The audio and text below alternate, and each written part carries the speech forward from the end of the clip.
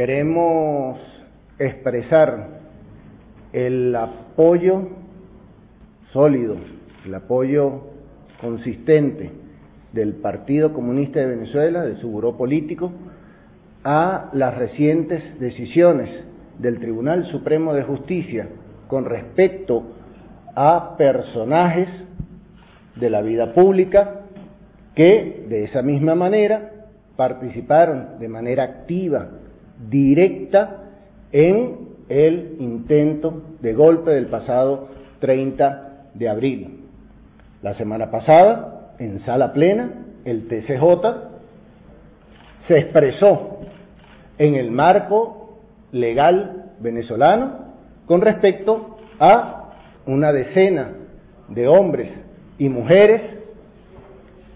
que ha sido y que fue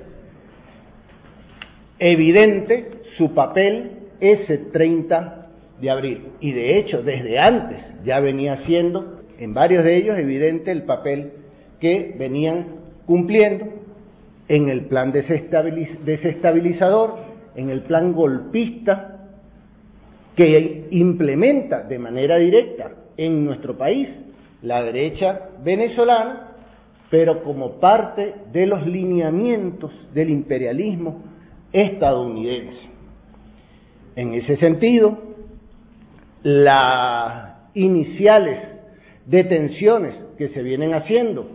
de estos personajes que en algunas instancias internacionales está levantando polvareda, por supuesto, instancias internacionales que también han venido en lo fundamental apoyando las acciones golpistas de estos sectores, faltan no solamente este grupo, está cerca de decenas de, personajes que recientemente se han mencionado y que además son mm, diputados y diputadas de la Asamblea Nacional, del Parlamento venezolano, pero cuyas acciones en flagrancia justifican las medidas de aprehensión que se están ejerciendo con respecto a ellos. nosotros planteamos y hemos planteado no solamente eh, acciones de ese tipo que se deben ejercer con respecto a estos personajes. Desde hace semanas, desde hace meses, el Partido Comunista de Venezuela, y lo ratificamos, el planteamiento de que tienen que ejercerse acciones de este tipo también de aprehensión con respecto a los cabecillas de esas acciones. Y el más evidente de ellos, el señor Guaidó. Tienen que ejercerse las acciones de aprehensión con respecto a ese señor y a todos los personajes que evidentemente están corroboradas.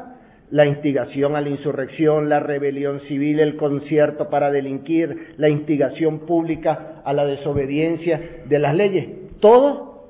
parámetros establecidos en el Código Penal venezolano.